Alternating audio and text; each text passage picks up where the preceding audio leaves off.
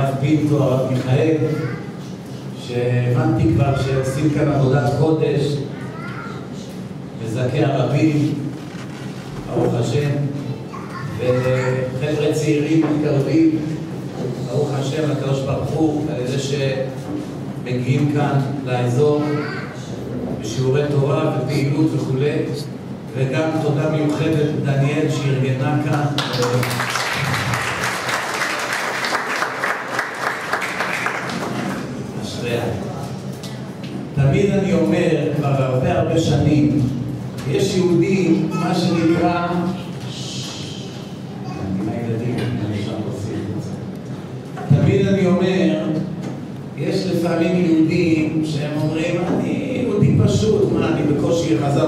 בתשובה, אני שומר קצת מצוות, אני לא רב, אני לא דרשן, אני לא יודע לארגן, אני לא, מה, מה, מה, אין לי כסף לתרום, אז מה, אני, איך אני אעשה, אני יכול לעשות סיכוי רבים.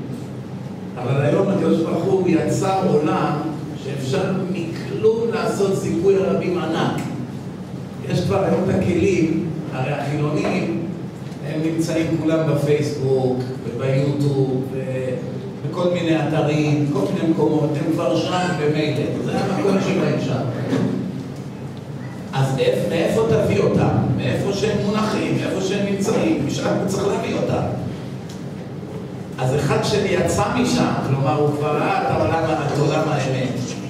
הוא יצא משם, הוא יודע איפה למצוא את חבריו, לשעבר, כן.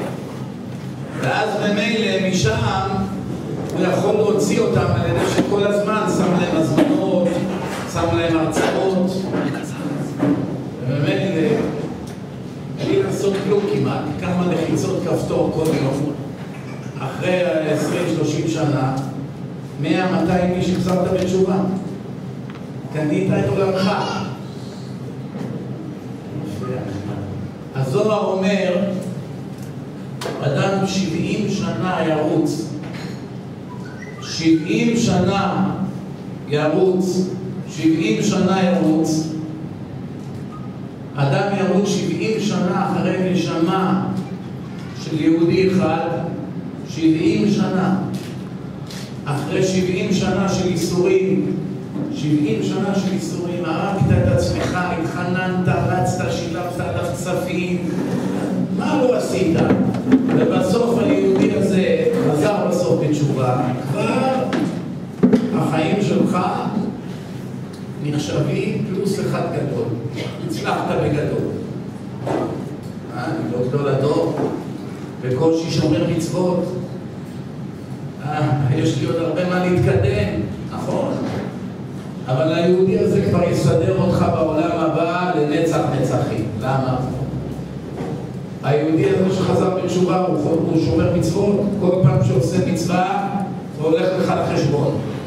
יום אחד יהיו לו ילדים, הילדים האלה יעשו מצוות, זה הולך לך לחשבון. יום אחד יהיו לו נכדים, כל מצווה שהם עושים זה בא לך לחשבון. אחרי מאה שנה, יש אלף יהודים שומרי מצוות, אולי עשרה מהם יושבים בישיבה, כל זה בא לך לחשבון. אז אתה כבר מהיהודי הזה נהיית אברהם אבינו. עברת את אברהם אבינו, זה לא צחוק מה שאני אומר לכם. אברהם אבינו בזמנו, כמה גויים הוא קירב תחת כנפי השכינה, לא יודעים בדיוק. אלף, אלפיים, חמשת אלפים, אין מספרים מדויקים. עוד לא היו סטטיסטיקות אז. אז אברהם אבינו, מה שקרב קרב, עד היום זוכרים את זה בכל העולם. אברהם מגייר את הגברים, שרה מגייר את הנשים וכו'. אתה יכול היום בטכנולוגיה שהקדוש ברוך הוא נתן, לעבור אנשים שהם הגדולים ביותר שהיו בהיסטוריה. אתה היהודי הפשוט מקריית שמונה, או מהקיבוץ לשעבר, או מתל אביב, או מבת ים. עם הכלים שהשם נתן, זה דבר שלא היה לו מעולם לא היה לו תקדים. אדם, יש לי כמה ישראלים שעוזרים לי חזק מאוד בפייסבוק. הגענו ל-85 אלף איש, ועם החברים שלהם זה מאות אלפים. והם עושים סרטונים, ושמים פליירים, ומזמינים אנשים, ועושים כל מיני מהפכות פה בארץ. אין בכלל ספק שהאנשים הצעירים האלו, שיגיעו לעולם העליון, הם עברו את גדולי האומה. עברו את גדולי האומה. מבחינת להחזיר בתשובה, עברו את אברהם אבינו, אולי בסוף גם יעברו את משה רבנו ואת רבי עקיבא, מבחינת זיכוי הרבים. זה דבר שלא נתפס בשכל. הרי בתורה לא נגיע לרבי עקיבא גם אם נחיה מיליון שנה ונלמד בישיבה. מיליון שנה לא נגיע לרמה של רבי עקיבא, זה ברור ופשוט. ולהגיע למדרגה של אברהם אבינו שחי לבד בעולם נגד כל הבלוף והיה מחפש את הקדוש ברוך הוא והיה מוכן לשחוט את בנו אחרי מאה שנה שחיכה זה גם כן לא נגיע כנראה. אין סיכוי שנהיה ברמה הזאת. סיכויים קדושים. אבל בזיכוי הרבים, יחסית בקלות אפשר לעבור את גדולי האומה, וזה אנשים לא תופסים. אתה מבין מה זה? אתה יודע מה מדובר, מה אמרתי עכשיו פה? אתם מבינים מה אני אומר פה? בן אדם יכול להגיע לשמיים אחרי 70-80 שנה שחי פה בארץ, בדור הזה שכל כך הרבה יש בעולם הזה, דברים שהשם ירחם. הוא מגיע לשמיים, אומרים רגע, רגע, רגע, אי אפשר לגעת ביהודי הזה או ביהודייה הזאת, אפשר לגעת בהם. מה זה אי אפשר לגעת? כשרות בקושי, אמונה בקושי, צניעות לא כל כך, שבת בקושי, מה? לימוד תורה צולע, צדקה צולע, הכל צולע. אבל מה, 200 נשמות ניצלו בזכות הלחיצות שלו. 200 יהודים, בנים שלי ניצלו, נהיו כבר 2,000. דור הבא זה כבר יהיה 50 אלף. איך אפשר לגעת בו זה? אי אפשר לגעת בו, זה לא אומר מפורש. מסתכל הרבים אפשר לגעת. אין לך תעודת ביטוח יותר חזקה מזה בכלל. למה? כי כל מה שנעשה, אדם שלא עסוק בזיכוי הרבים, כל מה שיעשה בחיים לא יגיע לרמה שהיא מניחה את הדעת. מבחינת גודל הדין, מי שמבין מה זה הדין, מתחלחל, גודל הדין. איך מקפידים על כל מצווה ומצווה, איזה מפחיד, פחד פחדים.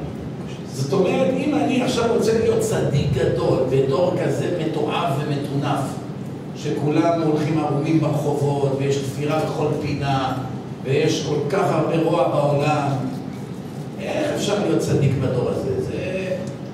התנאי היחיד להיות צדיק גמור זה לשבת באוהלה של תורה ולא לצאת משם דקה אחת כל החיים. אלה זוכים להיות גדולים. יש כאלה גם פה בארץ, כל היום מקווה הערים, תורה, חיים שם בבידוד, לא באים במגע עם בכלל עם חילונים. יש להם סיכוי. אבל היהודי העובד או הלומד שהולך וחוזר, עולה לאוטובוס ומסתובב בשכונה, חלק אחד בצבא, אחד הולך למילואים, יושב שם עם אנשים שלא מאמינים בכלל שיש בורא לעולם, שומע את הכפירה שלהם, ורואה איך הם מתלבשים, ושומע את המוזיקה המטונפת שלהם, ואיך בכלל איזה, איזה אידיאולוגיה רקובה יש להם, איזה חוסר אמונה, איך רבים על, על 100 שקלים, מוכנים להרוג אחד את השני.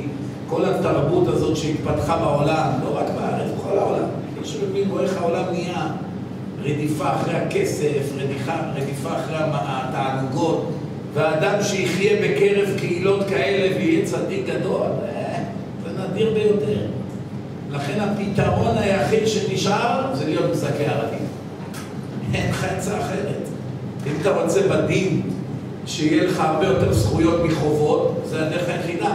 במיוחד למי שהיה מחטיא רבים, היה די-ג'יי, עושה מסיבות מעורבות.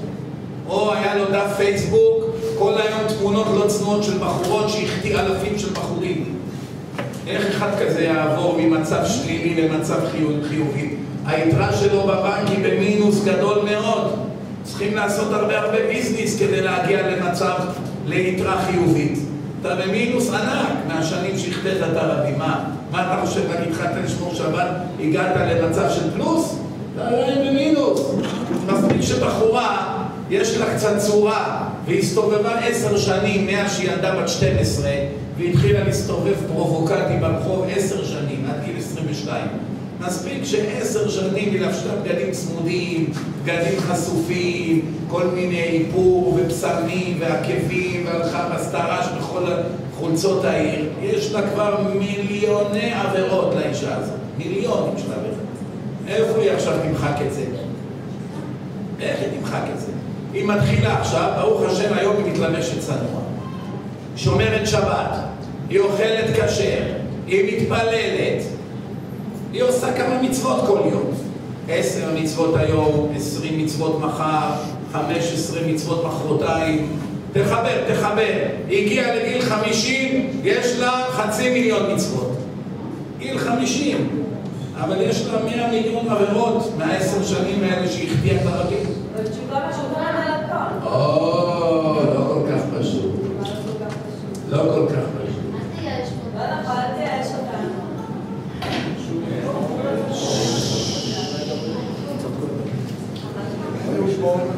תשובה, תשובה כמובן, היא עוזרת לאדם למחוק את כל העבירות שעשה.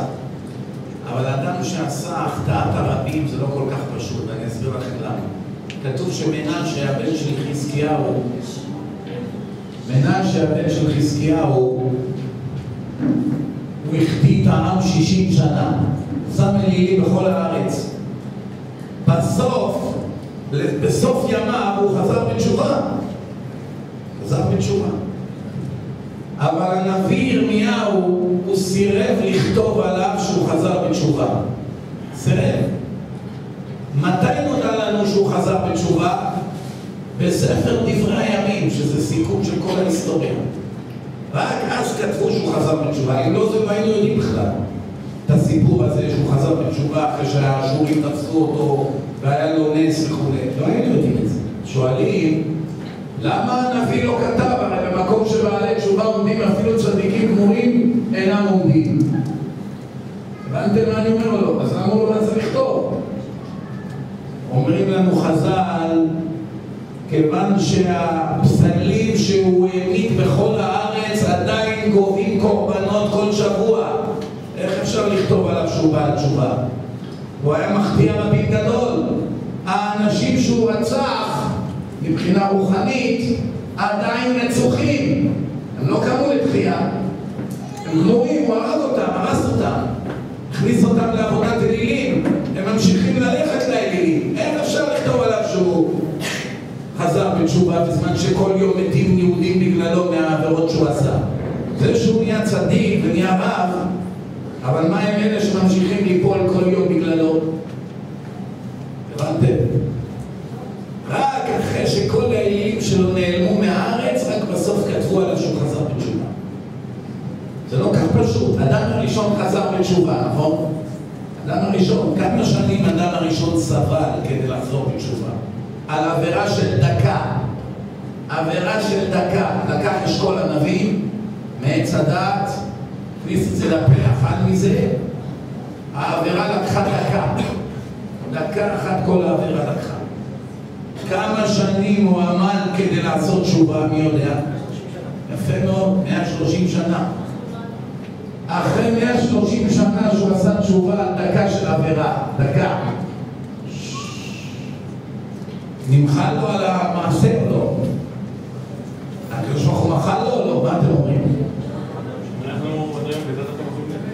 יפה מאוד.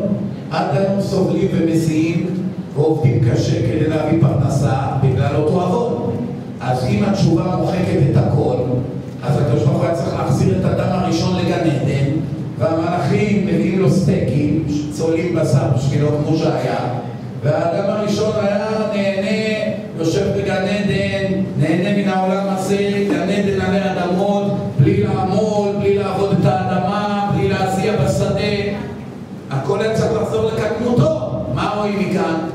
שמי שעושה עבירות לא חוזר למדרגתו הקודמת, לא חוזר.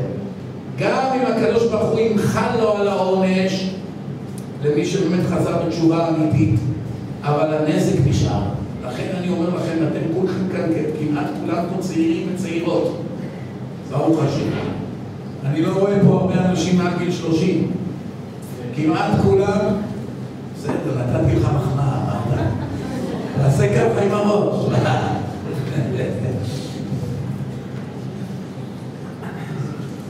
הייתי מנסה לנחם את עצמי. בקיצור, השנים חולפות, גם אני פעם הייתי בגיל כזה. עכשיו זה הגיל הכי מדהים, למה? קודם כל לא הספקתם עוד לחתור הרבה.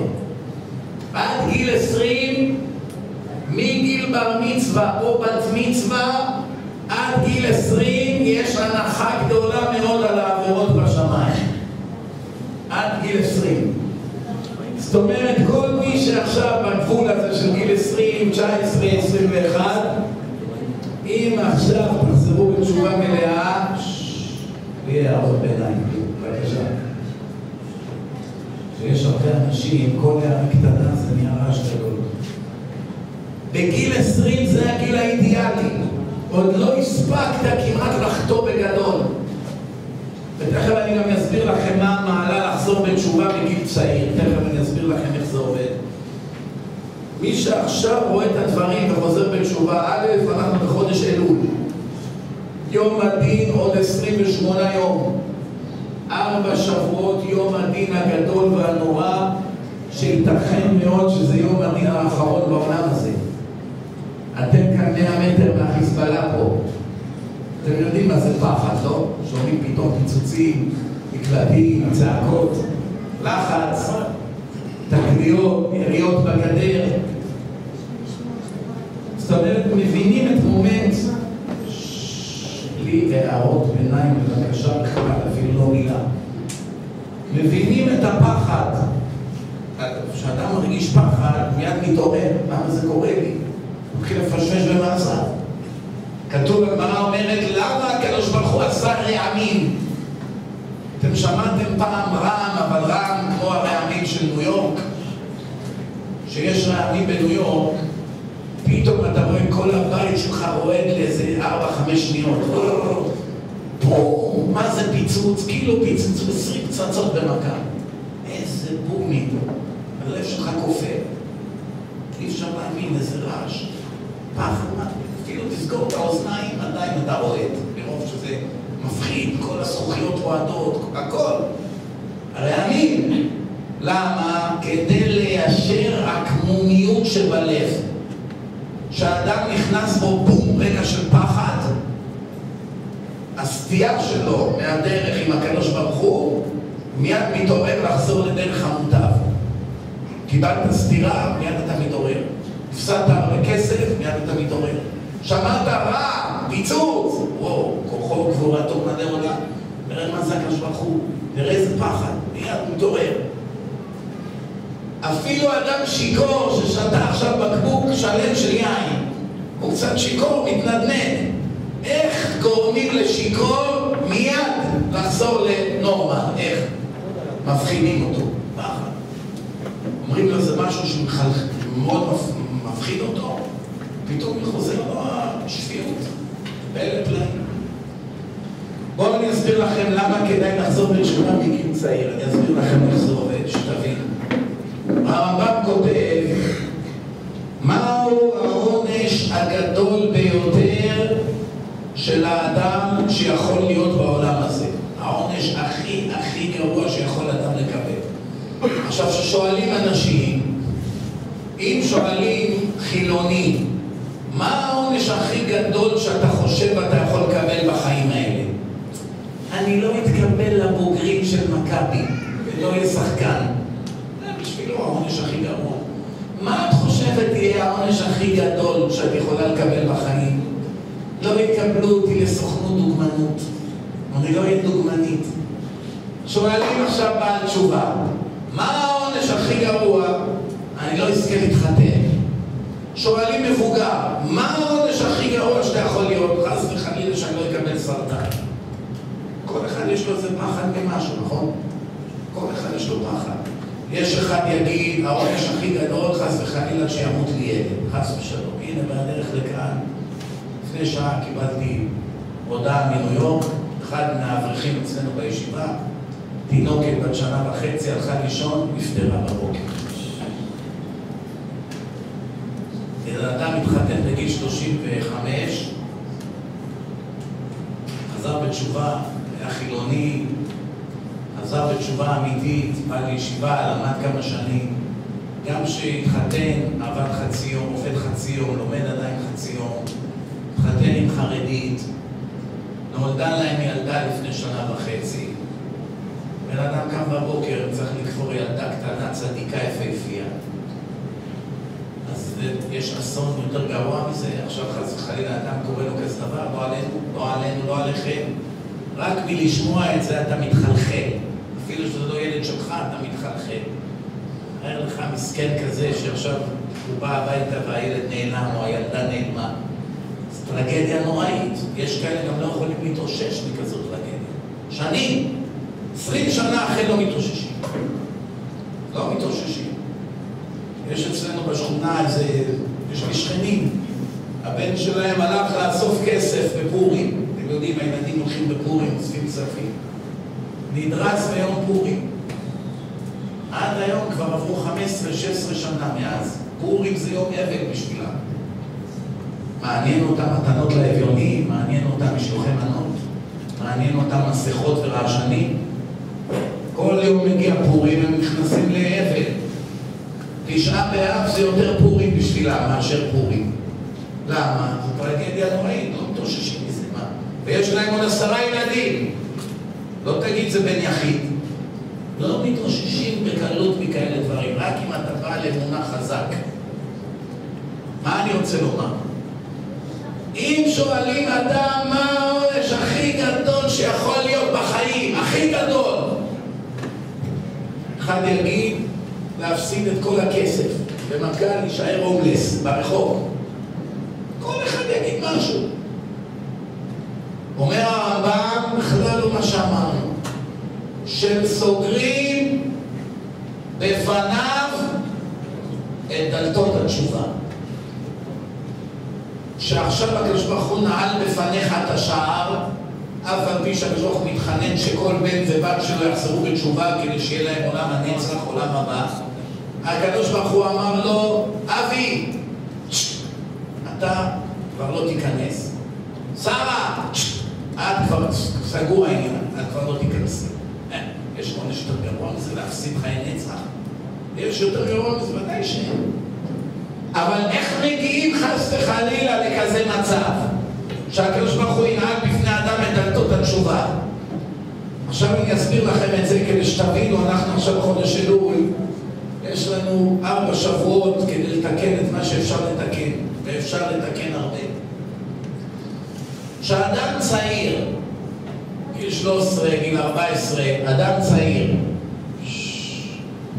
אדם צעיר, יש לו הזדמנות לחזור בתשובה. נתנו לו איזה פיס של איזה דרשן טוב, לא חסרים דרשנים טובים, ברוך השם היום.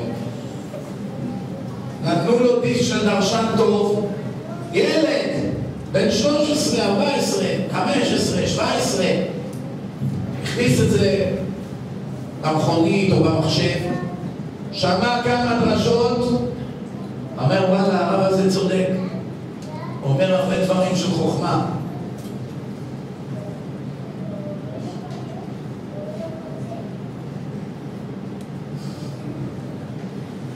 אומר דברים של חוכמה, אבל מה, אני עכשיו בגילי אעזוב את הים, את החבר'ה, את הגלים, את המועדונים, את הדיסקוטקים, את הסמים, את הבחורות, אני אעזוב את כל זה עכשיו בגילי? יש זמן. אני לא מתכחש חס וחלילה. מה? שהולך למשחק כדורגל בשבת ושם תהילים בגרמיים. הוא לא כופר. מודה, יש בורא לעולם. אדרבה, הדיסק הזה עשה עליו רושם גדול, אבל מה? זה עוד מוקדם בשבילי להתעסק בדברים האלה. כשאני אהיה מבוגר ואני אחשוב על לחזור בתשובה. אם היה חוזר בתשובה עכשיו גיל 14, גיל 16, הקדוש ברוך הוא היה נותן לו משמיים מאה אחוז סייעתא דשמיא, מאה אחוז. הכל היה הולך לו קלי קלות בחיים. פתאום היה עובר לישיבה טובה, מכיר שם חברים טובים, היה לו שם יופי של חממה, מתחזק בתורה, גיל 18 כבר הוא תלמיד חכם. הוא כבר לכיוון רבנות. גיל עשרים כבר משבחים לו איזו בחורה צדיקה, גם כן שחזרה בתשובה כמוהו בגיל צעיר, עוד גבר לא נגע בה, עוד עדיין שמורה, כבר הראש שלו מגיל קטן כבר נטהר, גם הראש שלו, גם הראש שלה. מתחתנים, מקימים בית בישראל, יש להם ילדים צדיקים, מכניסים אותם בתלמוד תורה, עשרים שנה אחרי הוא גדול הדור. יש לו כבר ארבעת אלפים, חמשת אלפים תלמידים, יש לו כבר ישיבה משלו. כל זה זה בגלל שהוא קיבל את ההזדמנות הראשונה בגיל צעיר ולקח אותה. זה לא עניין של מה בכך אצל הקדוש ברוך הוא. שהאדם בהזדמנות הראשונה שהוא קיבל לחזור בתשובה מיד חזר, זה דבר ענק שבענקים. ההצלחה היא בהתאם. כל מה שתיגע בחייך הוא מיד נהיה זהב. למה? הושטתי לך יד פעם ראשונה, מיד רצת ולחצת לי יד. לא עשית לי ככה, ורק בפעם השנייה הסכמת ללחוץ לי את היד. זה לא אותו דבר. זה לא אותו דבר. הנה, אני הייתי במילאנו, באיטליה, לפני כמה חודשים. דיברתי שם בשבת, והיו כולם איטלקים, והיה שם ישראלי אחד, עז פנים, חצוף, אדם עם מידות מושחתות. אני דיברתי, אמרתי בדרשה שלי, שאלתי שאלה, שאלתי, אמרתי, מעניין היום, יש גנרלים, הולכים לצבא, מקבלים כמה אלפי דולרים בחודש משכורת, יום אחד הם משתחררים מהצבא, פתאום מתברר שיש להם 100 מיליון. אני שאלתי בקול רם, מעניין איפה יש לגנרלים כל כך הרבה כסף. זה בכל העולם, לא רק פה. כל הגנרלים הם פתאום כולם עשירים כקורח. אז אני אמרתי להם, אתם יודעים למה? בגלל שגנרל יש לו כוח עצום. הצבא צריך עכשיו לקנות נשק ב-200 מיליון דולר. והחברות מתחרות מי ימכור לצבא נשק. אז אחת החברות אומרות לו, אין בעיה, תחתום איתנו, עשרה מיליון דולר תקבל, רק תגיד לנו איזה עושים הון של כסף, לא כולם כמובן. העולם אומנם הוא מושחת, אבל יש אנשים נקיים שהם לא מושחתים. אין הרבה, אבל יש. לכן אני לא אומר שמות, זה לא לשון הרע, אני בעצמי לא יודע מי כן ומי לא. אני רק אומר לכם מציאות שקיימת בכל העולם, אין מה לעשות. הרבה גנרלים הם עשירים כקורח. במיוחד במדינות ששם יש דיקטטורה, שאין מבקרים, לא בודקים אותך. יש רודן, הוא נותן לך לעשות מה שאתה רוצה, גם תדאג שם לא ימרוד לי. תגנוב, תעשה מה שאתה רוצה. רק תדאג שאף אחד לא יסכן את המעמד שלי כמלך. אז זה מה שאתה רוצה. ככה זה עובד. אז קם לי החצוף הזה, בסוף ככה, בסוף הדרשה. עכשיו, אני לא ידעתי שהוא חצוף. אני רואה כל מיני איטלקים באים, יישר כוח, חזק וברוך, התעוררנו, חיזקת וזה. אז הוא גם בא אליי, אז חשבתי, כמו כולם, בא ללחוץ לי את היד. אז הושטתי לו יד, העיף לי את היד. ככה העיף לי את היד. לך, אומר לי, לא ילחץ לך את היד. יד כולם. אמרתי לו, מה קרה? אתה לא מתבייש? מה זה פה כולם מוחאים לך כפיים? דיברת נגד גנרל בצבא, ואתה רוצה שאני אלחוץ לך את היד? אמרתי לו, אני אמרתי שמות? מה אכפת לי אמרת או לא אמרת? אמרתי לו, רגע, זה לא קיים התופעה הזאת? ואם כן קיים, אז מה אכפת לי? אז אחרי שהרגעתי אותו, אז עוד פעם הושטתי לו את היד. אז הוא כבר הסכים ללחוץ לי את היד.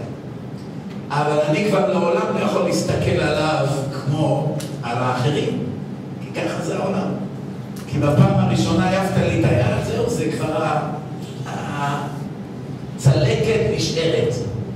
גם אישה שבעלה בגד בפעם אחת, זהו, נפילה חד פעמית. והתנצל מאה פעמים. וקיבל על עצמו בבחיות ובתחנונים שהוא נשבע שלעולם הוא לא יעשה כזה דבר.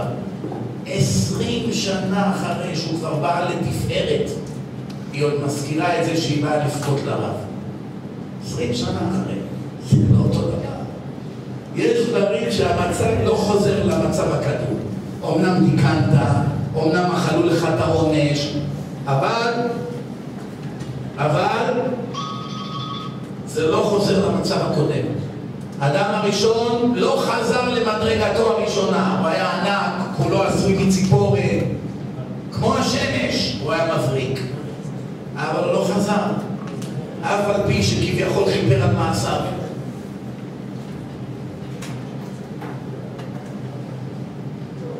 האחים של יוסף הצדיק זרקו אותו לבור, הוא לא מת, יצא לו מזה רק טוב, הוא נהיה מלך מצרים, אחראי על כל הכסף. יצא לו רק טוב. האחים בסוף שכבו לו, כמו שהוא חלם. ומסתמה ביקשו ממנו מחילה, לא? תסלח לנו, מצטערים. אמר, אמר להם, לא, מה פתאום? אין, אני בכלל לא מקפיד עליכם. זה הכל מאת השם, זה הכל השם עשה לטובה. זאת אומרת, רואים מהתורה שיוסף והאחים השלימו. אז גמרנו, אין קפדה. מה קרה לאחים האלה, אתם יודעים? הם חזרו בגלגול ונשחטו במוות הכי אכזרי שאפשר לדמיין. עשרה הרוגי מלכות זה, עשרת האחים. עשרה הרוגי מלכות, רבי ישמעאל, רבי ישבב, רבי עקיבא, אלה עשרה שבטים שהתגלגלו חזרה ושחטו אותם הרומאים וכרתו להם את הראש ושרפו אותם באש לעיני כולם. ככה אומרים, החכמים יודעים. זה קבלה מדורות. דבר אחד תדע, חכמים של היום, לא של אלפיים שנה, היום תיקח אלף רבנים הכי גדולים שיש בעולם, אלף. ביחד לא יכולים להגיע לרמה של אחד התנאים. זה פשוט, זה בעצמם מודים. הם לא יכולים להגיע. זאת אומרת, הם היו ברמות. מה? לא משנה, אבל להגיע בקדושה ובידע, אי אפשר, אין על מה לדבר. אז אני שואל אותך, היום בימינו, היום בימינו אתה לא תמצא רב גדול, צדיק, תלמיד חכם, שממציא סיפורים בתורה. ממציא סתם, אנחנו רפורמים? אנחנו לא, אנחנו פוחדים דברים, אז זה שקר, זה בשמיים ידונו אותנו על זה. אז מה, יעלה על הדעת שהתנאים היו ממציאים סיפורי עליבאבא? סתם יושבים וממציאים צ'יזבטים? וכותבים את זה בספרים? הרי בן אדם יעשה כזה דבר, איבד את העולם הבא שלו. בן אדם שמסלף את התורה, זה נקרא מגלה פנים בתורה. זה מהדורים הכי קשים בגיהנום יש על זה.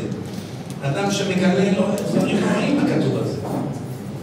אז מה, החכמים ימציאו סיפורים, יעלילו על רבי עקיבא ועל רבי ישמעאל, על האנשים הכי חכמים בעולם, יגידו שהם הרשעים שזרקו את יוסף לבור ובגלל זה הם נשחטו? מי יגיד כזה דבר?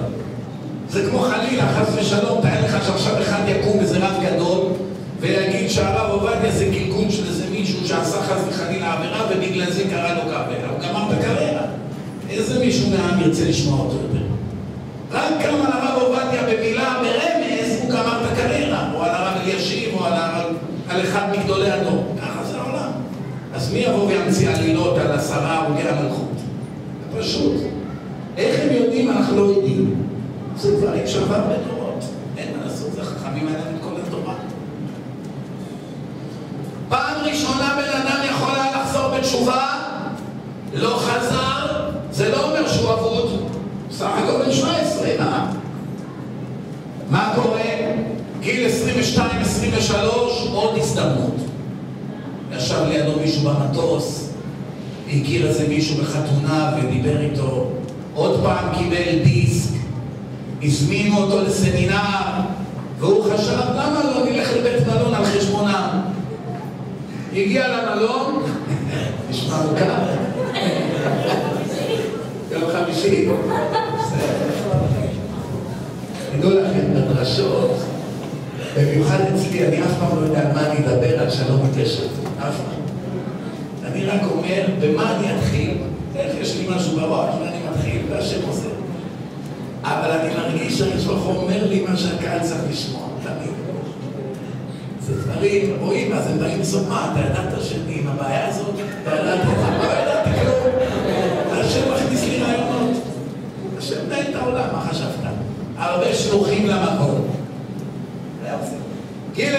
22 הזמינו אותך לסמינר על חשבונם יום חמישי הקרוב. הלכת לסמינר, ראית דברים יפים, דרשנים בטוב טעם, התפעלת, וואו, איזה תורה, איזה אמת, כמה אני חי בבלוף, תראה איך אני מתלבשת.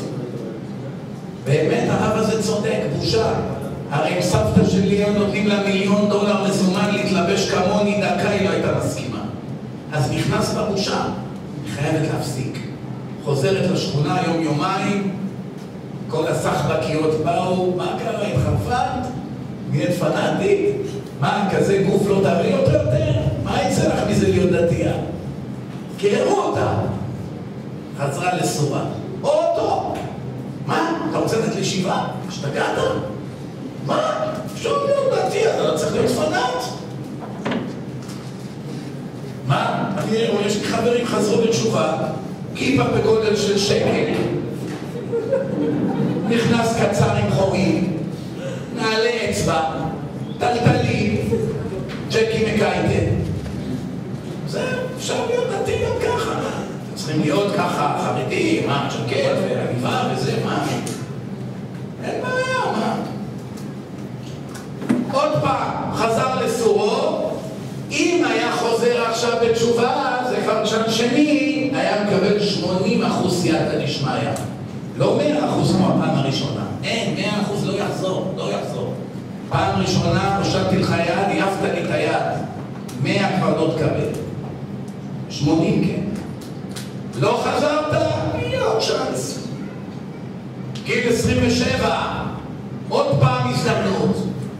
אם יחזור בתשובה הפעם, יקבל 60 אחוז. סייעתא דשמיא, כלומר הרבה יותר קשה. 100 אחוז סייעתא דשמיא, גיל צעיר, זיכרון חזק, הראש עובד, עוד לא התחלת עם הסמים, אתה עוד לא עמוק עם הבחורות, המוח שלך עוד לא שרוף מכל העישונים, אז אתה יכול לצאת עוד משהו. אתה כבר לא פגוע מוח. לחזור במכה, אבל זה קשה, זה מאוד קשה. מאוד קשה. גם לעבוד זה קשה, גם להיות חייל זה קשה. כל דבר בחיים זה קשה. להיות כדורגלן קשה, יש הרבה לחץ. להיות דוגמנית קשה. להיות שר בממשלה קשה. להיות חייל בגולני או גבעתי קשה מאוד. להיות אה, אה, שופט בבית משפט חילוני קשה. להיות רופא בבית חולים, לקבל אגרופים מכל מיני עבריינים. גם זה קשה. אני לא אמרתי שלא. לחזור בתשובה. לחזור בתשובה, הכוונה אני בפנים, עד הסוף. מתחיל להשתנות. למדתי את זה, עושה גם את זה. למדתי את זה. לא. גם הוא לא שומר הכל. אין אדם שחזר בתשובה בדקה, ונהיה צדיק. שכח מזה, זה תהליך של הרבה הרבה שנים. כשאני אומר חזר בתשובה, אני מתכוון, זהו, אני בפנים, אני לא חי רגל פה, רגל שם. עדיין רוצה להיות 70 אחוז חילוני. זה נקרא דתילוני. הבנת? דתילוני זה בעיה. תדע לך דבר אחד שהרבה לא יודעים אותו. לפעמים כשאדם מקבל על עצמו להיות חצי דתי, זה יותר גבוה מלהיות מאה אחוז חילוני. ואני אגיד לך למה. חילוני. הוא יודע שהוא חי בשקר, אבל הוא הולך אחר התאוות. אומר, יש אמת. בלעם היה כזה. בלעם היה כזה. בלעם אמר בתורה, תמות נפשי מות ישרים, דיבר על עם ישראל, ותהי אחריתי, ותהיה אחריתי כמוהו, כמו עם ישראל. אני רוצה למות וללכת איפה שהעם הזה, היהודים הולכים בעולם הבא. זה הנביא של הגויים. חז"ל אומרים, כל מה שמשה רבנו ידע מהשם, בלעם גם ידע. שלא יהיה אפליה אצל הגויים, שלא יגידו למשה נתת לנו לא. שומעים? אז מה יצא מפה? שבלעם יודע דעת עליון, כתוב עליו פסוק בתורה. יודע דעת עליון, אנחנו עוד מאה מיליון שנה לא נדע דעת עליון. כמה שנלמד. קח את גדול הדור, תשאל אותו, תגיד הרב שטיינמן, הרב, הרב קניאסקי, אתה יכול להצהיר על עצמך שאתה יודע דעת עליון? הוא יגיד, קחו אותו לבית משוגעים. שהוא בכלל שואל אותי כזאת, איך אני יודע דעת עליון? מי יודע דעת עליון? בלעם ידע דעת עליון. זאת אומרת, הוא ידע בדיוק מה זה עולם הבא, ידע מה זה להיות, הכל ידע. אבל מה? הוא חי בתוך התאוות. כבוד, כסף. אז בלעם אמר, אני רוצה שהסוף שלי יהיה כמו היהודים. אבל לחיות כמו יהודי, זה הוא לא רוצה. קשה. מה שאתה אומר קשה. בטח קשה. אז מה אתה רוצה שכר נצחי בעולם הבא על כלום? על מה? באת לשחק פה טניס שולחן כל יום וביליארד וזה, ואתה רוצה עולם הבא? לא סתם שמו לך את הטניס שולחן ליד הבית הכנסת. תתחיל פה בטניס שולחן יום-יומיים, ומהר תיכנס לבית הכנסת. הטניס שולחן זה רק אמצעי להביא אותך לבית הכנסת, אל תהיה טמבל. לא באת לעולם להזיז את היד כמו איזה קוף. זה לא בשביל זה הביאו אותך לעולם. אנשים לא מבינים, השם נותן לך חיים. החיים הם לא שלך, מי שמתאבד דנים אותו כרוצח. אפילו החיים שלך הם לא בבעלותך. כל מה שיש לך זה שלו.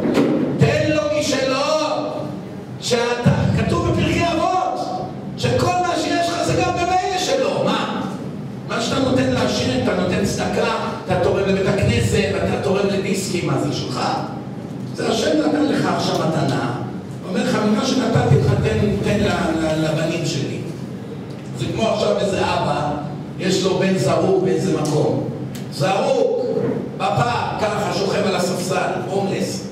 אז האבא בא אליך, אומר, שמע, אני רואה שאתה בן אדם טוב, אני רוצה לעזור לך. הנה, קח מאה אלף שקלים, שיהיה לך קצת התחלה בחיים, ותעשה לי טובה, תדאג לבן שלי הזרוק מתוך הכסף הזה. אז אתה לקחת את המאה אלף שקלים, הלכת, חיפשת את הבן של הנדיב, נתת לו עשרת אלפים שקלים. מי עשה למי טובה? מה אתה מחזיק טובה לעצמך? תכלס את הכל אתה צריך לתת לו. אבל אמרו לך, קח בשבילך ותן גם לבנים שלי. זה נקרא צדקה, מה זה צדקה? מי נותן לך כסף? יש כאלה בהם אומרים לי, אני, הקדוש ברוך הוא גמר אותי, שבר אותי. למה? הפסדתי בשבוע אחד שלושה מיליון דולר. אחד בא אליי, אומר לי, אתה יודע איזה מכה חטפתי? אני גמור. מה? הפסדתי שלושה מיליון דולר. עשר שנים עבדתי בשביל זה, בשבוע הפסדתי. אני גמור, אני שבור, אין לי חשק לקום בבוקר. תאמין לי, אני מחזיק את התפילין ביד, אין לי חשק לשים אותם על היד. הלך לי החשק. אז אני אמרתי לאותו טיפש, אמרתי לו, אתה לא קולט שהקדוש ברוך הוא קודם כל נתן לך את השלוש מיליון כדי לקחת אותם ממך, כדי שהוא רצה לנסות אותך. למה אתה חושב נתן לך את השלוש מיליון האלה? כדי לקחת אותם ממך. זה הסיבה שנתן. לי הוא לא נתן. לא, הוא לא נתן שלוש מיליון. לך הוא נתן. כי ממך הוא רצה לקחת. הוא נתן לך, הוא לקח את שלו, מה אתה רוצה? אז על מה כואב לך? האשליה שחשבת שזה שלך. ושתיקח את זה איתך לעולם הבא. זה מה שחשבת. אז אני אמרתי לו, אני אשאל אותך שאלה, אתה רואה, יש לו ילדה לבן אדם הזה. תראה את הילדה שלך, איזה חמודה, תראה, יש לה חמש אצבעות בכל יד, נכון?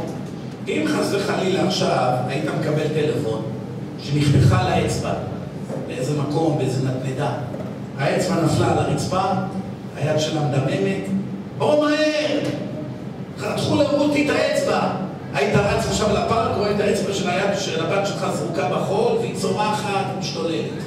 היית מרים אותה, מחזיק מהר מהר, מרים את האצבע, רץ מהר עכשיו לבית חולים הכי קרוב כמו משוגע, נכנס לשם, והרופא היה אומר לך, תשמע, תהיה רגוע, אנחנו יכולים להציל את האצבע הזאת, אבל זה ניתוח מאוד מסובך וזה יעלה שלושה מיליון דולר. אבל אנחנו מבטיחים שהאצבע תחזור לתפקד, הכל כרגיל. מה היית אומר? בטח הייתי מסכים.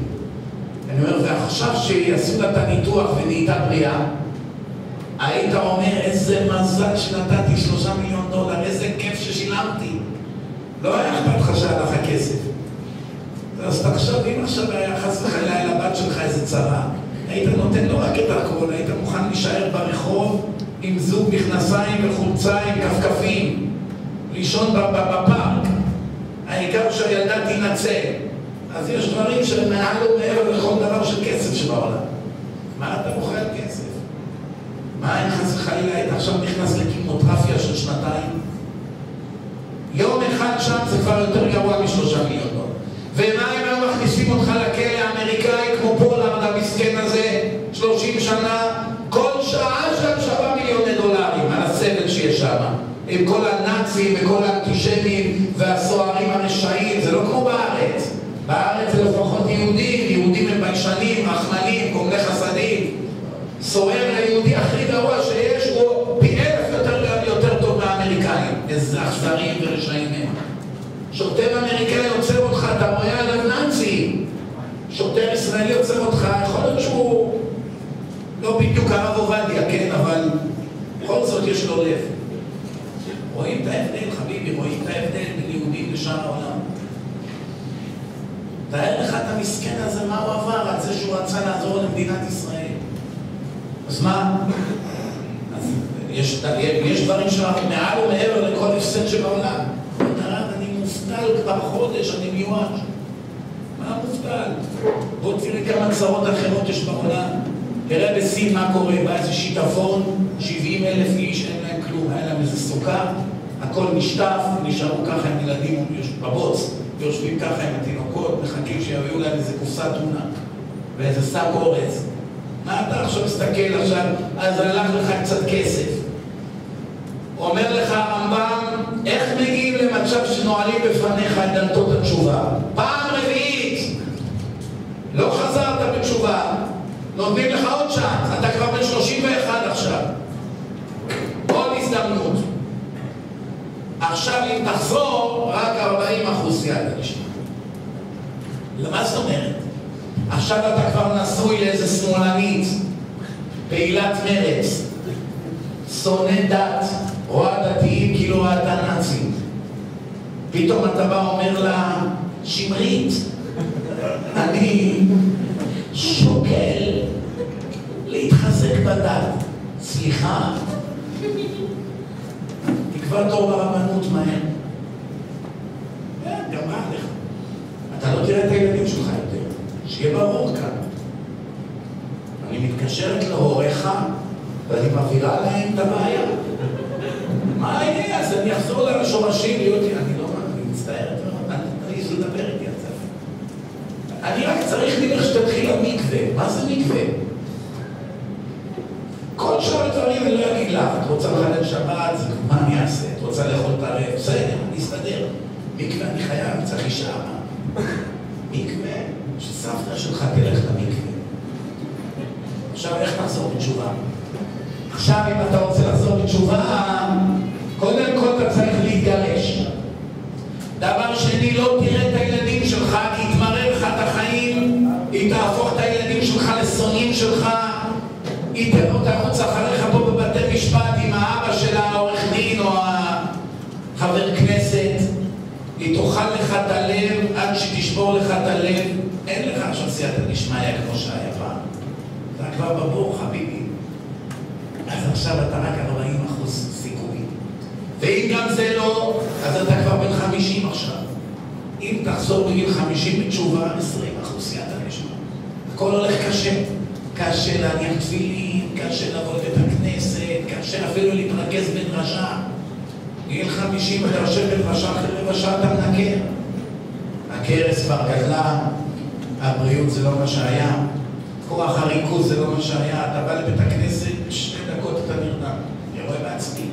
רואה את הצעירים, איזה אריות הם, שהם באים להתחזק, ורואה את הזקנים, לא אותו דבר. גם זקן שהוא ערני, הוא עדיין לא קולט הרבה. אז אדם שלא יכול לקלוט מה שמדברים איתו, או 80 אחוז מהשאר, אז קשה לו להתחזק. קשה לו מאוד. חוץ מזה, אחרי 50 שנה של הרגלים קשה לשנות. זהו, זה הרגלים כבר. כבר בתוך ה-DNA שלך. לכן אני אומר לכם, כיוון שרובכם פה צדיק, צדיקים וצעירים, רובכם...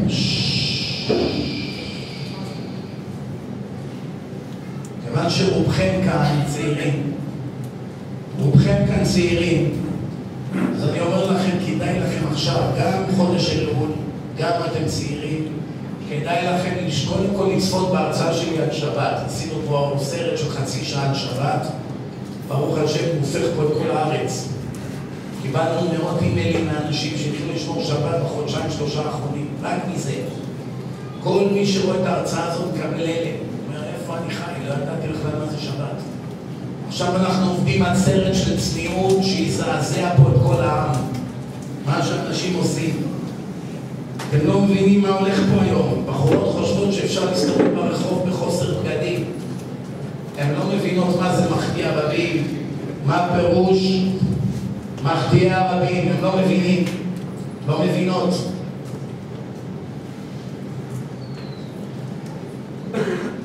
אז באמת צריכים להבין דבר אחד, יש כזה דבר שנקרא חוטא, ויש כזה דבר שנקרא חוטא ומחטיא. זה לא אותו ליגה.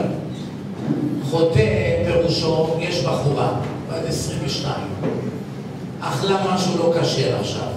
כמה עוונות היא עשתה? אחת. בינה לבין נשים. מחר אכלה עוד פעם משהו לא כשר, שתיים. מחרתיים עוד פעם, שלוש. הפזם דופק. ארבע, שבע, עשר, שבעים, שבע מאות, חמשת אלפים בגיל ארבעים. חמשת אלפים טרפות היא אכלה עד גיל ארבעים. לא סוף העולם, רק חמשת אלפים.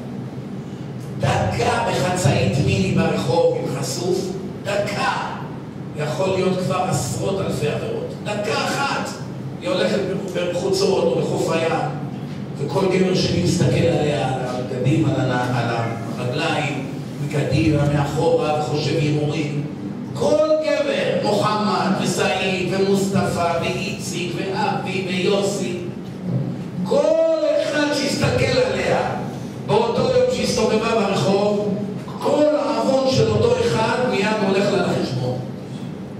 עכשיו בגיל 40, איפה היא תתחיל? 700 מיליארד עבירות.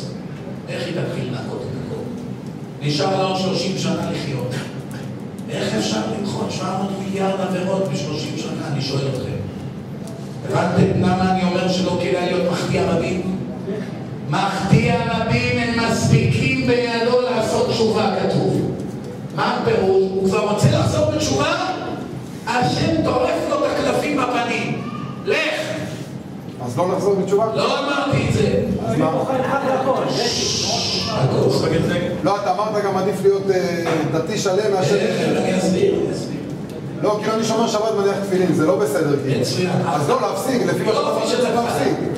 אני כבר שבע שנים עושה את זה, ואני לא מתקדם לשום מקום. למה אתה לא מתקדם? אני לא מתקדם, אז אז להפסיק לעשות את זה? אתה לא לומד. אני לא לומד תורה. אני אגיד לך למה אתה דומה, אני אסביר לך למה. כן. יש אחד בא עכשיו לשופט, אומר לשופט, השופט אומר לו, תשמע, רוצים לדון אותך עכשיו על אונס. אז הוא אומר לו לשופט, תראה, אבל אני גם פעם הייתי רוצח אנשים. הפסקתי עם הרציחות, ואני גם הייתי פעם שודד, שודד בתים, חנויות, גם הפסקתי עם השודדים. אז השופט אומר לו, יפה מאוד, התקדמת מאוד, אתה פושע יותר קטן. אבל עדיין אנחנו צריכים לדון אותך על אונס.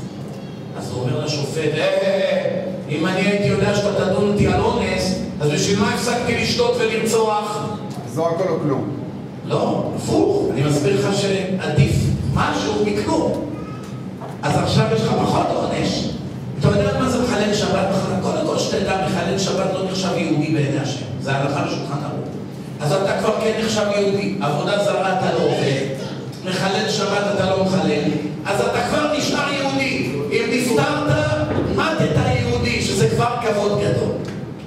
אבל גם יהודי נענש על מעשיו. אז מה שבת? אז תקשיב טוב.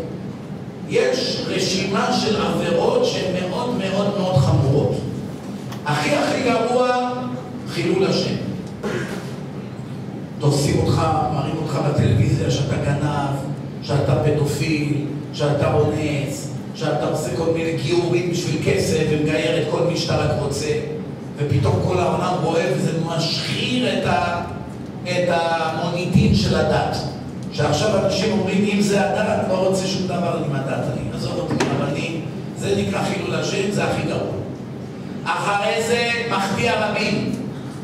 די.ג'יי בדיסקוטקים גורם לאנשים לבוא בשבת, לחלל, לעשות עבירות, לעשן סמים, לעשות אחרי זה איסורי כרת, הפלות, הכל על הראש שלו. לא בחורה שמסתובבת בחוף הים, או מסתובבת ברחוב בלי בגדים, וכולם מסתכלים ונעשה מזה כל מיני עבירות, זה נקרא מחטיא הרבים, זה הכי גרוע.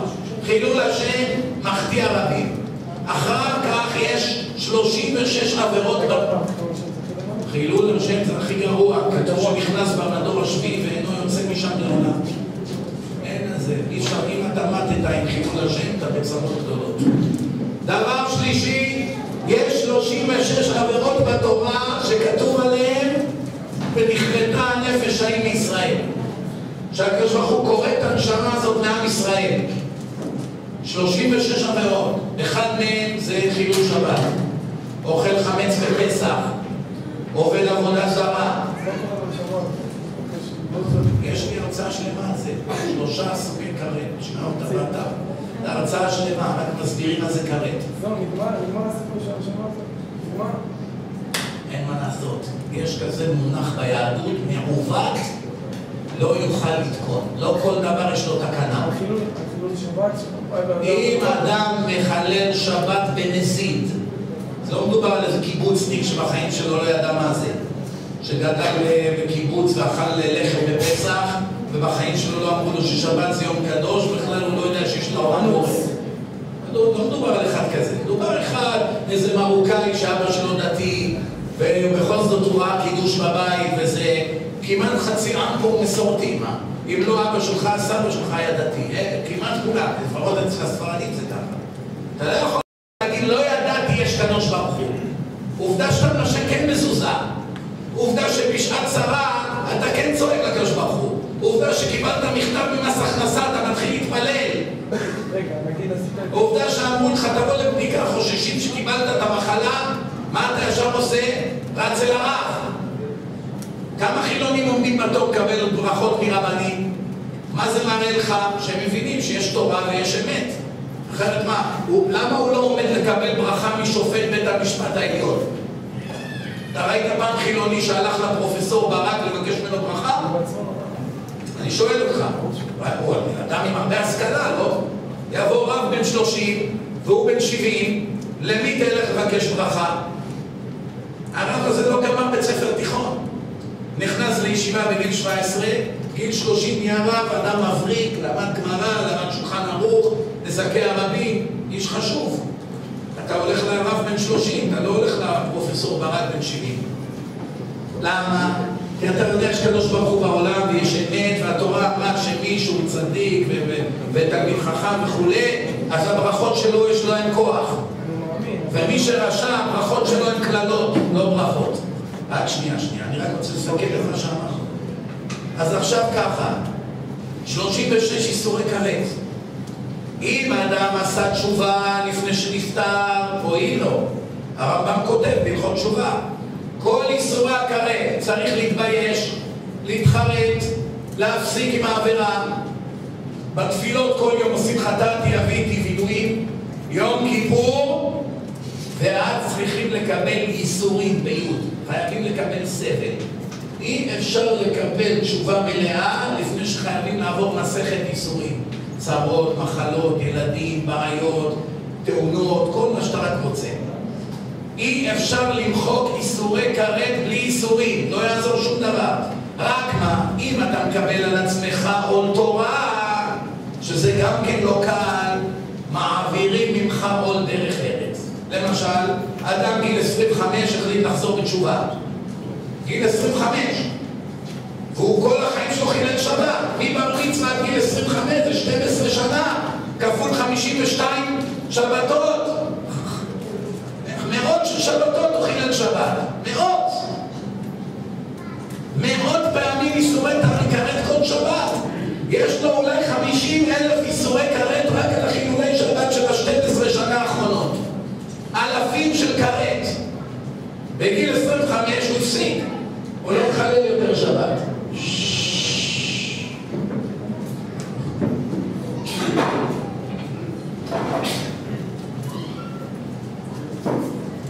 לא מחלל יותר שבת. הפסיק, מתבייש. איך יכולתי לעשות את זה, השם? סלח לי, לא ידעתי באמת מה זה שבת. ראיתי עכשיו סרט על שבת, הזדעזעתי, הנה אני לא מחלל יותר. אמרנו, מתבייש, כן.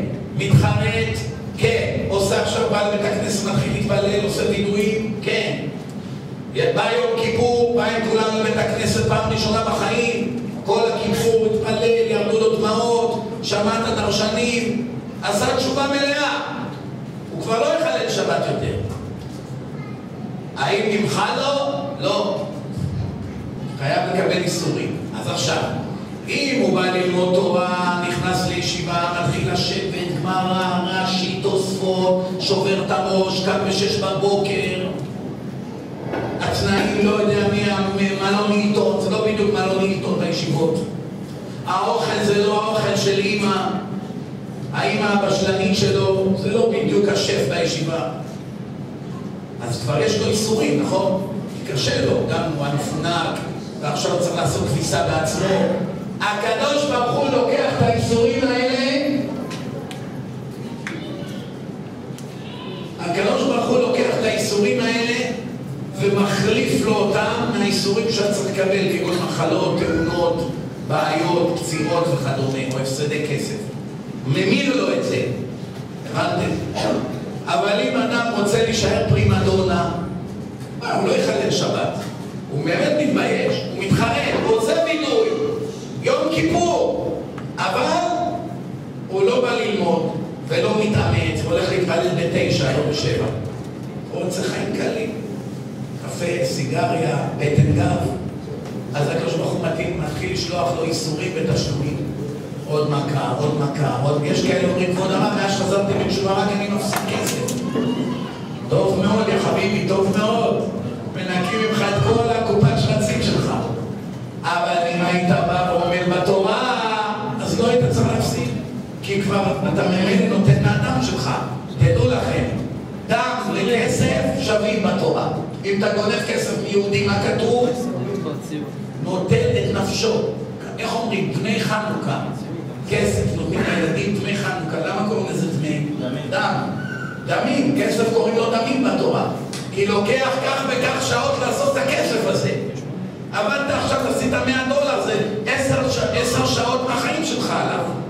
מי שגנב לך את ה-100 דולר האלה, הוא לא גנב לך 100 דולר, חתיכת נייר. הוא גנב לך 10 שעות מהחיים. או עשרה ימים, או שנה מהחיים. יש לפעמים אדם, בדקה גונבים לו עשרים שנה של חיים. כל החסכונות גנבו לו. אז ממש לפני שמסיימים, לסיכום, אם אדם עבר את כל הדבר הזה, נמחל לו. עכשיו, אתה שאלת אותי, או הכל או כלום, התשובה היא לא.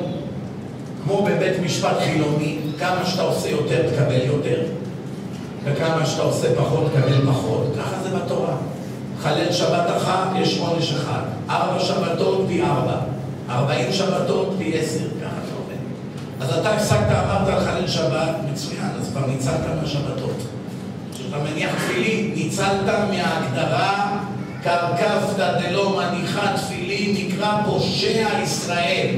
עד היום שהתחלת להניח תפילין, כל יום הכריזו עליך בשמיים. פלוני בן פלוני, הוא נקרא פושע ישראל בגופו. ביום שהתחלת להניח תפילין, ההגדרה הזאת יצאה מהלקסיקון. לא מכריזים עליך יותר פושע. על התפילין הפסיקו. בחורה הייתה הולכת בחוסר צניעות, כל יום מכריזים עליה בשמיים, פרוצה שאין דוגמתה. יום אחד התחילה להתלבש שמלה לא צמוד, לא קצר, כמו בן אדם היא מתחילה להתלבש. מפסיקים להכריז עליה, להפך, הרמב"ם כותב, אתמול היה שנוא, משוקץ, מתועב בעיני השם. איזה מילים מפחידות.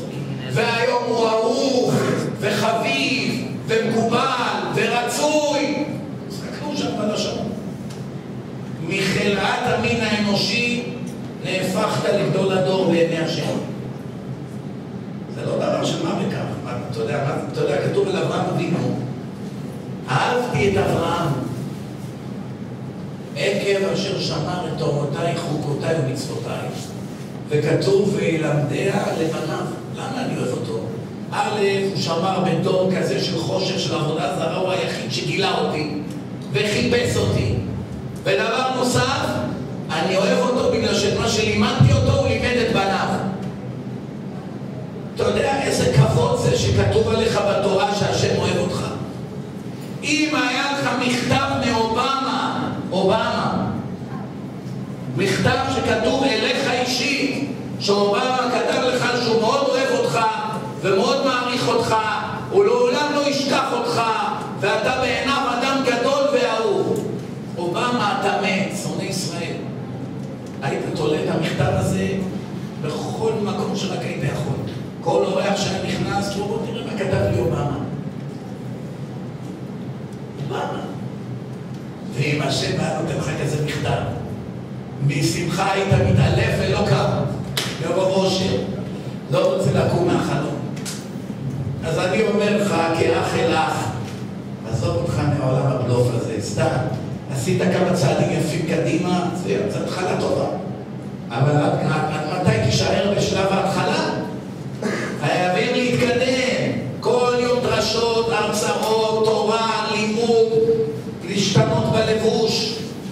להקפיד בכשרות, לעבוד על היושר, על מידת האמת, להיות חרוץ, להפסיק להיות ככה כסלן, עצלן, כל היום רוצה בטן גב. חייבים. חייבים להתחזק באמונה. אמונה זה שורש כל הבעיות. מי שאין לו אמונה, מכאן מתחילים כל הצרות. אם האדם דבוק בהשם, דבוק בהשם, הוא, הוא קורא ספרי אמונה, יש הרבה ספרי אמונה מצוינים שיצאו בדור הזה, הרבה. יש אלפי דרשות על אמונה וביטחון. מי שכל הזמן שומע אמונה, אמונה, ביטחון, בסוף זה עובד.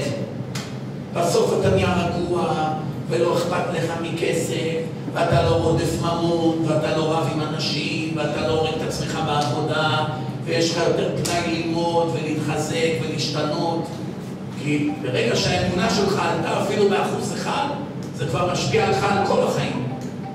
בן אדם שיש לו אמונה וביטחון בהשם, הוא, הוא, הוא יתבייש ללכת ערום ברחוב. אפילו גבר, קל וחומר אישה. אתה מבין מה מדובר פה? אתה יודע שכתוב בגמרא שפעם הם הרי היו גרים במבוי. הבתים בשכונה היו בצורה של חטא, ובאמצע היה רחבה. שם היו מחנים את הגמלים, את הסוסים ואת החמורים. היו מחנים אותם שם. נותנים להם אוכל, וזו הייתה רחבה משותפת, היו שם תרנגולים, ילדים, מה שאתה רוצה. רחבה של כל השכונה, כמו פה בארץ, יש שכונות. עכשיו, אם אדם רוצה להפוך את הרחבה הציבורית לשימוש אישי שלו, הוא לא יכול. זה שטח ציבורי. הוא צריך לבקש רשות מכל השכנים. אם כל השכנים מוכלים, הוא אומר, אני רוצה עכשיו לשים כאן בסטה שבוע ימים, למכור כאן נעליים. אבל זה רכוש ציבורי. אם כל השכנים חתם לו, אני מסכים, אני מסכים, אני מסכים, אני מסכים, מותר לו. אין כאן כסף. שכן אחד מתנגד, אסור. שואלים החכמים, בת ישראל, יהודיה, היא רוצה עכשיו לעשות כביסה בשכונה.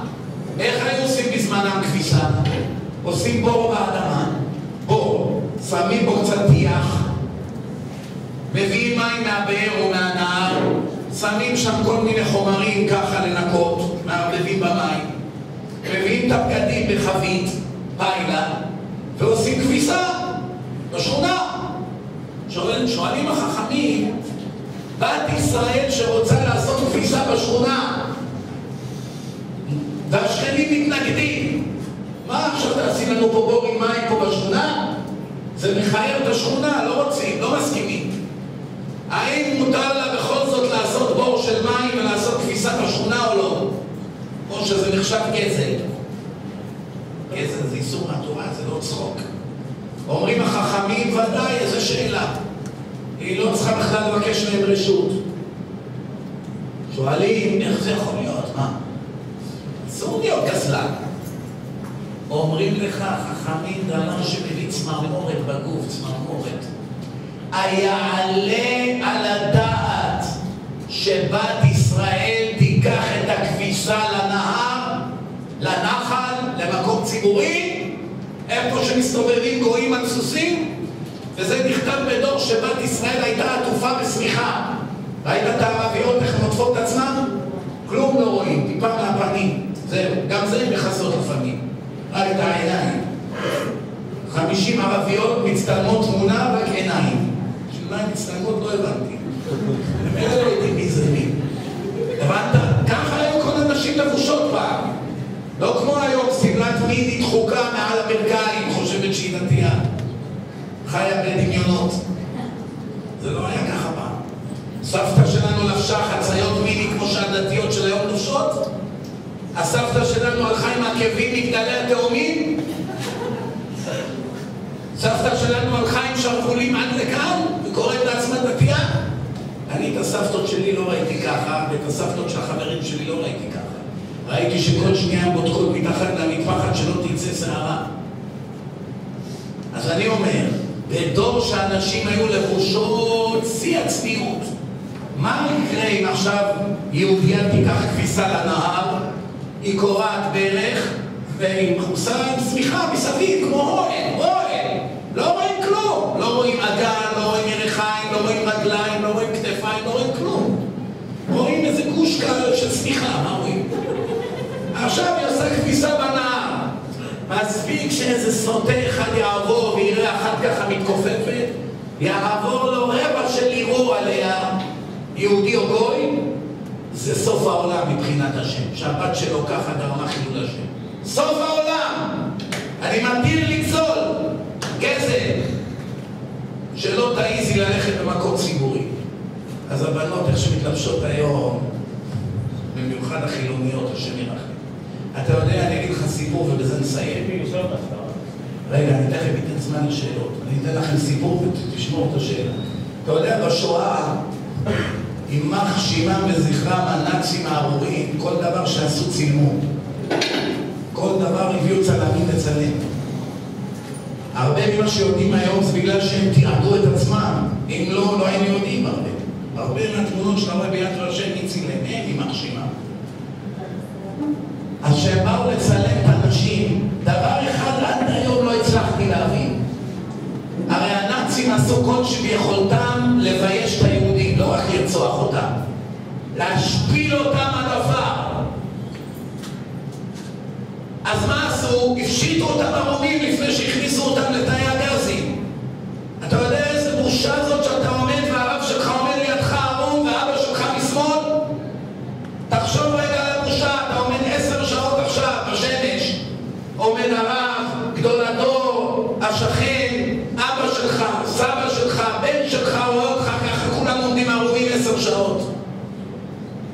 עכשיו תאר לך שהיו שמים גם את האישה ואת האימא ואת הסבתא ואת הבת שלך וכולם עומדים אחד ליד השני ערומים עשר שעות. תאר לך, זה הרי יותר גרוע פי אלף מעונש מוות. מה יותר גרוע, לקבל כדור בראש ונגמר? או לעמוד ככה עשר שעות עם כולם, עם השכנים, עם דודה שלך? זה נורא ואיום. למרות שהם עשו הכל יימח שמם לבייש אותנו ולהשפיל אותנו עד עפר, לא העמידו גברים ונשים ביחד. פלא פלאים. שמו את כל הגברים שם ערומים, שמו שם את כל הנשים ערומות. זה פלא פלאים, זה כביכול, אפילו פה ראית שהשם קצת ריחם. לא לגמרי כעס, נעשה לנו קצת רחמים גם פה היה. כי זה יכול היה להיות יותר גרוע. שבאו לצלם, באו לצלם את הנשים. כל הנשים שם היו בוכות. מי לא יבכה שעוד דקה הולכים לשרוף אותו בגז? ואומרים עשן עולה מהערובה. מי לא יבכה? כשבאו לצלם, היה שתי סוגי נשים, נשים חרדיות ונשים חילוניות. גם חרדית פוחדת למות. היא חושבת מה עם הילדים שלה. מי לא פוחד למות? כל אדם נורמלי פוחד למות. שבא, אז כולם היו כבר מיואשים. כשבאו לצלם את האנשים, החילוניות היו כבר לגמרי מיואשות שעומדים להרוג אותם, אז הם עמדו ככה בוכות, ובא יימח שמו האנס או אדולף לצלם אותם, כבר לא היה אכפת לה. יאללה, צלם, לך לעזאזל, צלם. לא אכפת לה, עומדת ערומה, תסתכל, ביד ושם שמים את התמונות האלה. מאיפה הביאו את התמונות האלה שהן עומדות ככה? מרוב שהם היו בדיכאון ומיואשות, הם כבר לא שמו לב שבאים מצלמים אותם ערונות. אבל כשבאו לצלם את הדתיות, הם כולם נצמדו אחת בשנייה, ככה העיפו את הגב ואת הפנים, שלא יראו אותם. אמרו, אף על פי שאנחנו עומדות עכשיו להישרף, לפחות לא נשאיר את הביזיון הזה אחרינו, שכל העולם יהיה לו תמונות שלנו בעירום. זה יותר גרוע מהמוות. כי ידע יש עולם הבא, היום שורפים אותנו, עוד מעט אני אעמוד אצל הקדוש ברוך הוא. זה לא סוף העולם, נכון. גם הם בחרו, גם הם היו עצובות, זה ודאי אין שאלה. אבל היה להם את הכוח הזה, הכוח, האחוז האחרון של כוח, לשמור על עצמיות אפילו ברגע הכי קשה בחיים. זה ההבדל בין אדם שיש לו את הקדוש ברוך הוא בחיים לאדם שאין לו את הקדוש ברוך הוא. האדם שאין לו את הקדוש ברוך הוא, זה עושה.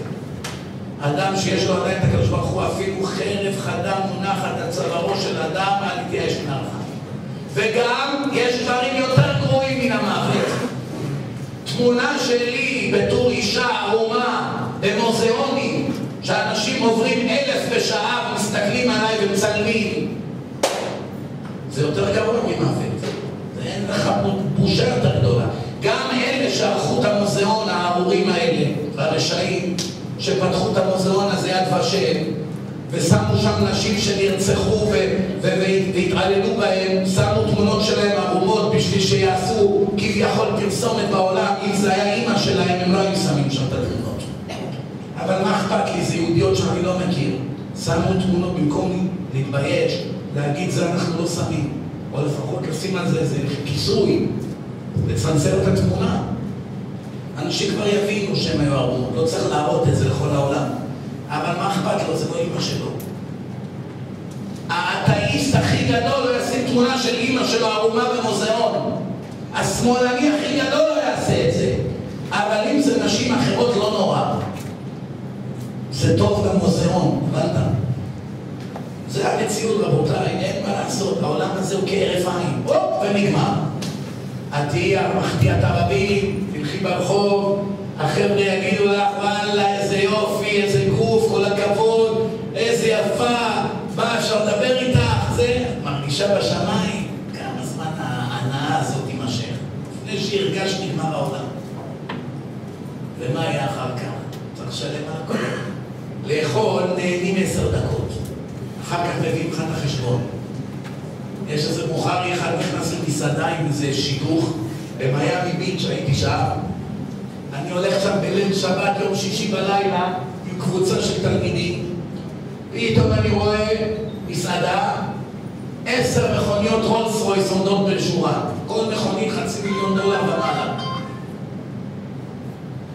אז אני שואל, מה יש פה? רק רולס רויס.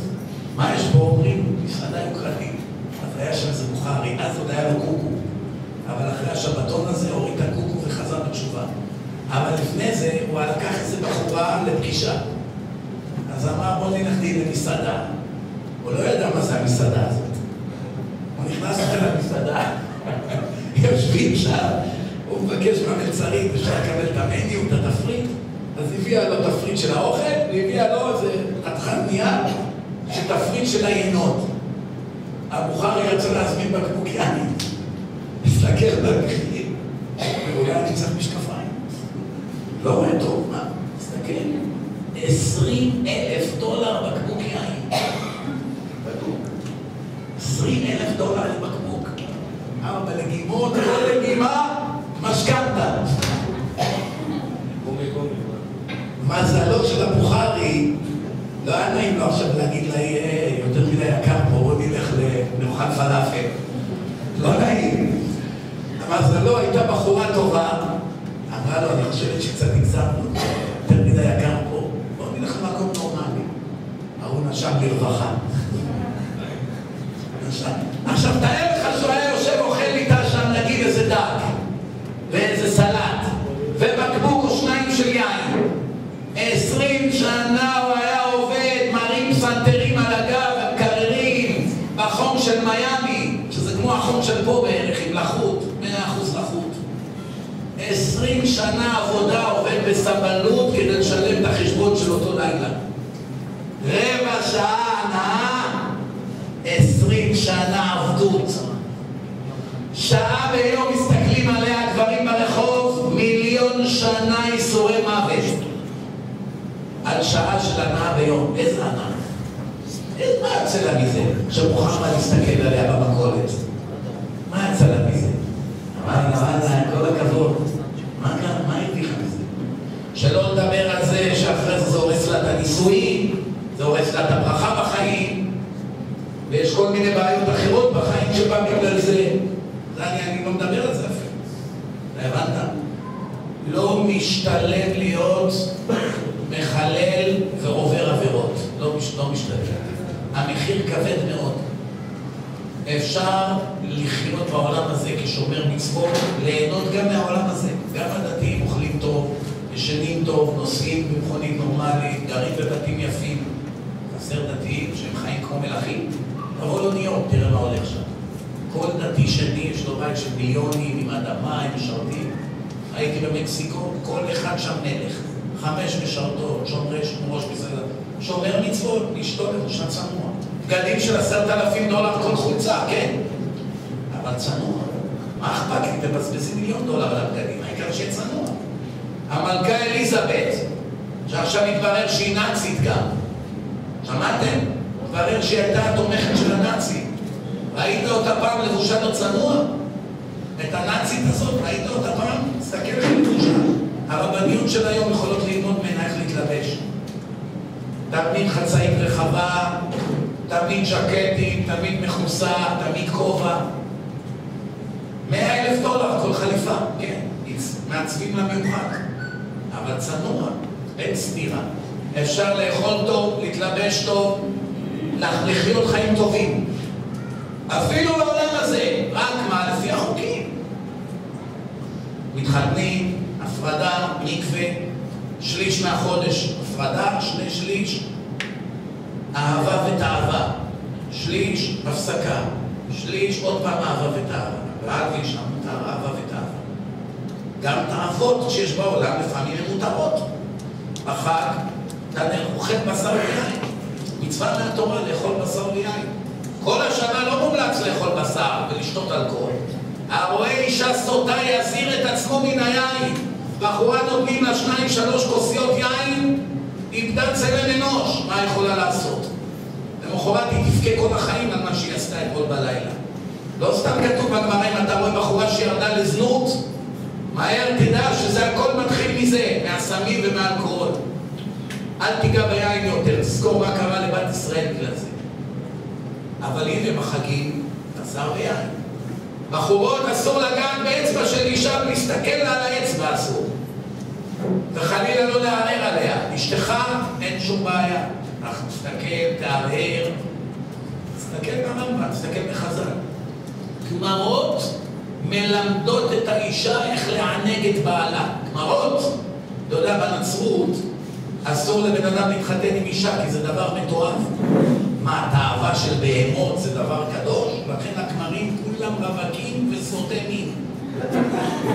למה? כשאתה לוקח גבר ואומר לו 60 שנה תהיה פה וכל היום יבואו לך נשים Father, I committed. היא מספרת לו עכשיו את כל ההרפתקאות שלה והוא 60 שנה ככה עם כותב. אבל אני שואל אותך, איך הוא לא יאנוס ילדים? זה נגד הטבע. השם אמר, מצווה ראשונה, פרו ורבו, תתחתן תביא ילדים. למה השם עשה יחסים של גבר ואישה עם הנאה? למה? היה יכול להיות סתם, כמו שאתה עכשיו מזיז את זה מפה לפה, אין הנאה. וזהו, הנה יש ילד. איציק הקטן בא לעולם, הוא בא, הביא את האף שלו, נגע באף שלה, יאללה, הגיע היום. נגמר. מה עכשיו צריך שיהיה בזה כרוך בזה? למה? כל דבר שהשם עשה זה לא רק למצווה, למרות ששתיהן בעולם הזה אין בעיה, אין סתירה. אבל הכל כן ולא, כן ולא, און אמוף, און אמוף, ככה זה החיים. היום זה אסור, מחר זה מצווה. הבנת? תסתכל, כל התורה זה טירונות איך להשתלט על היצרים שלך. השבוע מותר, שבוע הבא אסור. וואי, רק לפני שעה היה מותר. איציק, קיבלתי. וואי, אמרת, עכשיו אני בדיוק נוסע לשבועיים. ככה זה, מה לעשות, השם מחנך אותך לא להיות בהמה. בהמה לא יכולה להתאפק. כלב שרואה כלבה בשדה, אפשר להגיד לו, חכה, היא עכשיו בשבעה נקיים? אה? אפשר לדבר איתו? כן, שאלות, בבקשה. קודם כל, אשתי נמצאת פה גם, שמי תומר, ושמה גלית, חזרה בישיבה בזכותך באמת. ברוך השם, שימחת. באתי עד לקצה של המדינה לשמוע חדשות טובות. ובאנו לפה מטבריה, יפה מאוד.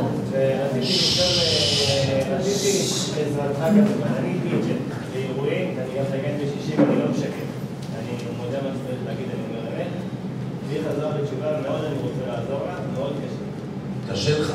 כאילו אני מוכן לוותר על ימי שישי, אני כבר הפסקתי שבועי לא מתקן, כן, ירדתי מזה לגמרי, ואני לא מתפלל, או הולך לבית כנסת, לא שומר שבת, אני איתה בבית, אבל לא, לא, לא, לא מתקן את מה שהיא עושה. אתה תחזור בתשובה לא פחות ממנה רק על ידי ש... אני מבקש ממך בקשה אחת, לטובתך כמובן. הרצאה אחת שלי ביום תראה, זהו. אחת ביום, עוד חודש, אתה תראה שכבר לא תצטרך שאני אגיד לך מה לעשות. אתה כבר לבד, זה יקרה לך. דיג'יי, קודם דיג'יי, אני אסביר לך מה הבעיה בדיג'יי. די.ג'יי זה עכשיו אתה עושה מסיבה לבחורים ובחורות, באים, מחבקים, מתנשקים, אתה יודע מה זה תאווה. במיוחד צעירים וצעירות, ואחר כך קוראים מזה דברים נוראים, ניסורי קרי, דברים נוראים. אתה, כיוון שהבאת את המוזיקה ואת הציון, וערכת את כל האירוע, אתה נהפך לסרסור של עבירות. זה המוזיקה, בלי המוזיקה שלך לא באים ומתחבקים ומתנשקים ורוקדים ועושים את כל מה שעושים. אתה נהפכת לשותף של אלפי עבירות כל לילה. אז בוא נתחיל ככה, אתה אומר שהפסקת ימי שישי, זה כבר צעד אחד גדול קדימה. בזכות זה שכתוב פתח לי פתח כפתחו של מחט ואפתח לך כפתחו של אולם. אתה כבר פתחת. קודם כל עצם זה שאתה לא מפריע לאשתך זה כבר דבר גדול. כי יש הרבה בחורים במצבך מפריעים ומורידים אותה בכוח. כל הכבוד. כל הכבוד, נשמע.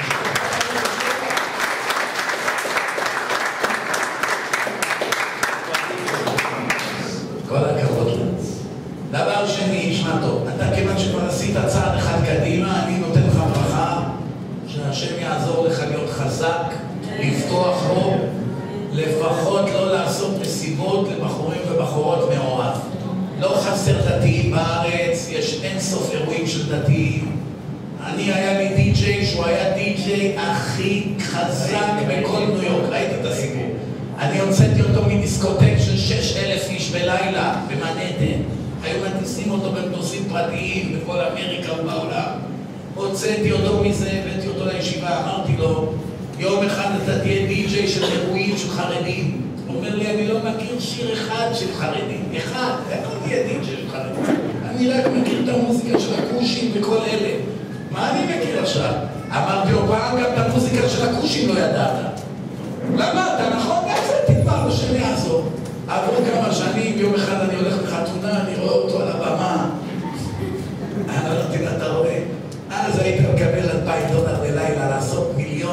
עבירות, עכשיו אתה מקבל 1,500 דולר ורק מצוות עושה. מה עדיף?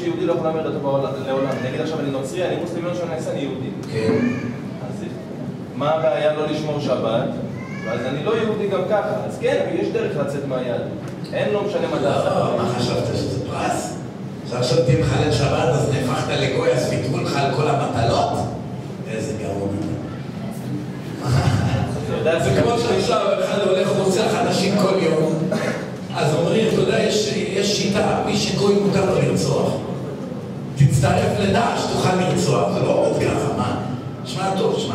מחלל שבת, קודם תודה, מחלל שבת, כל הגזרות שגזרו עליו, זה לא להקל עליו, זה להעניש אותו, שיחזור בתשובה. לא להגיד לו, אתה פטור מהכל. כיוון שאתה כבר גוי, יאללה, תעשה מה שבא לך. מה פתאום? כל דבר ודבר דנים אותו עד הפרוטה האחרונה. אז מה זה אתה לא יהודי? אני לא, עכשיו אני לא... אתה לא יהודי לקבל פריבילגיות. אסור לתת לך עלייה לתורה, אסור לענות אמן על הברכות שלך, אם בישלת אסור לאכול מהאוכל שלך, אפית לחם אסור לאכול מהלחם שלך, נגעת ביין שופכים אותו לשירותים כדי להראות לך מה מצבך, חס ושלום נפטרת קוברים אותך בבית קברות מחוץ לגדר כמו גוי, כדי להפחיד אותך שתגיד וואו, אני יותר גרוע ממוחמד בעיני השם. מוחמד מדעש. אז זה מכ- מכניס אותך ללחץ. אז בחור שגר בקריית שמונה ועכשיו רוצה לאכול לחם קרוא שהוא קנה במכולת צריך לברר אם זה שעפה אותו שומר שבת? לא צריך לברר. לא צריך לברר, אבל אם הוא יודע בוודאות שהוא מחלל שבת, בישל את האוכל, זה בעיה. בעיה, תסתכל בשולחן ערוך. אומרים אתה כבר יודע. יש כל מיני טריקים למצוא פעולות. אתה רוצה שכל החיים שלך יהיו בנויים על קרעי תרנגולים, או שאתה רוצה על בטוח לדעת שעשית את רצון השם? אחד בא לרב אלישיב, אומר לו, כבוד הרב, קניתי תפילין ב-1,500 דולר. זה היה לפני הרבה שנים, היום זה כבר היה שווה כנראה יותר מ-2,000 התפילין האלה. קניתי תפילין ב-1,500 דולר, לקחתי אותם לבדיקה, אמרו לי פסול. לקחתי אותם לסקן אופיניאן. דעה שנייה, אמרו לי כשר בדיעבד. יש פה בעיה אומנם, אבל יש על מי לסמוך. אפשר לה... בדוחק אפשר להכשיר את זה. בדוחק. אז ההוא אמר, אה, איזה מזל, השתבח שם. עמד לצאת בדלת, הרב אלישיב נתן לו צעקה. אתה רוצה כל החיים שלך להניח תפילין בדיעבד? עוד עם בורא עולם, עוד עם בורא עולם, אתה רוצה שזה יהיה בדיעבד? אבל פתאום מבין, מה, מה אני, בדיעבד, יש על זה סימן שאלה. אתה מגיע לשמיים, אני יודע איך יתייחסו לזה, מה אתה לוקח סיכון? 70,500 דולר עלובים. אתה רוצה להפסיד אחד משלושת האותות? ברית מילה, שבת, תפילין, ראשי תיבות שבת, שין, שבת, בית ברית, אף תפילין. שבת. לא סתם זה, זה עכשיו סידר את זה ככה. חייב שיהיה לך כל יום שני אותות כדי להיות יהודי. בימות השבוע יש לך ברית מילה ותפילין. בשבת יש לך ברית מילה ושבת, לא תפילין. על פי שני עדים יקום דבר. הבנת? לכן אני אומר לכם, אני לא בא לדבר אליכם כאילו אני הרב הגדול ואתם עכשיו אה, חילונים מהשכונה. לא, לא, לא, לא. כל מה שאמרתי לכם פה היום, בראש ובראשונה אני אומר לעצמי. כל יום מחדש, גם אחרי 50 שנה, זה לא משנה. כי אדם עולה ויורד ויכול ליפול גם בסוף. וגדולים כבר נפלו וראינו. כל אדם חייב להתחזק. יש אדם ששומר פחות ממני, אבל בשמיים הוא יכול להיחשב יותר ממני. תלוי מאיפה הוא בא. לפעמים אתה רואה שני אנשים, זה שומר פחות מזה, אבל זה נחשב בשמיים יותר. השם יודע את הקשיים שלו, יודע איך הוא גדל, ויודע הכל עליו. לכן אנחנו לא יכולים לשפוט בני אדם. גם בחורה, יש אחת קל לה להתלבש צנועה, יש אחד זה ייסורי מוות בשבילה. אתה שואל את עצמך, למה היא כזאת פרוצה הבחורה הזאת? היא לא יכולה להתלבש כמו בן אדם. למה יש לה כזה יצר של זנות? אתה לא יכול לדעת מי. אולי גלגול של איזה אחת שהייתה השם ירחם מי. יש לה את התאווה הזאת כבר מהגלגול הקודם. והשנייה לא הייתה פרוצה בגלגול שלה. מיד איך שהיא הבינה שהיא מתלבשת לא צנועה, אחרי שבוע החליפה הכל. לכן אי אפשר לדון. אני לא בא לחלק ציונים לאף בחורה או לאף בחור, ולא להגיד זה צדיק וזה רשע. אני רק בא וקורא לכם מה שכתוב, זהו. יותר מזה אני יכול לעשות כלום. אני לא שופט בבית דין של מעלה, לא בעולם הזה ולא בעולם הבא. אני גם לא יודע להגיד מי נחשב בשמיים יותר מהשני, זה רק השם יודע. לעניות דעתי אין אף בן אדם בשר ודם שיודע להגיד את הדברים האלה, במיוחד לא בדור הזה. מילא היה תקופת הארי הקדוש, אז הארי יכל לדעת. בדור שלנו אין אנשים כאלה. אני רק אומר, בתחנונים, שמי שלא צנועה, תתחיל לעבוד על זה. ומי שלא שומר שבת, יתעורר. ומי שלא אוכל כשר, יתעורר.